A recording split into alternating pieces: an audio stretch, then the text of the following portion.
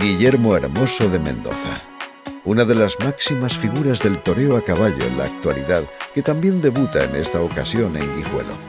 Torero joven que da todo en el ruedo, por lo que las puertas grandes de plazas de toros como Madrid, Sevilla, Valencia o Pamplona se le abren cada vez que torea.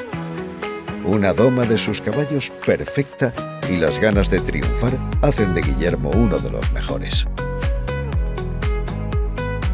Bueno, pues estamos aquí en nuestra finca en Estella. Aquí estas son eh, bueno, pues los potros y las yeguas de, nuestra ganadería y con los cuales pues en un futuro pues, eh, serán los que, los que nos acompañarán en los ruedos.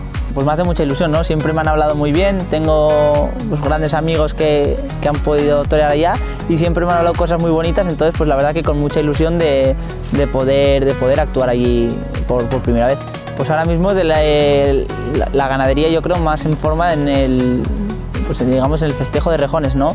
indudablemente pues eh, yo creo que es un cartel muy bonito, eh, con bueno, eh, Duarte que pudo triunfar el año pasado ahí en el suelo y con Lea que bueno, pues está ahora mismo en todas las ferias y están dando a un gran nivel y bueno, pues es un cartel relativamente también de, de futuro, ¿no? En cuanto a joven, a, bueno, pues como bien el futuro de la fiesta sobre todo.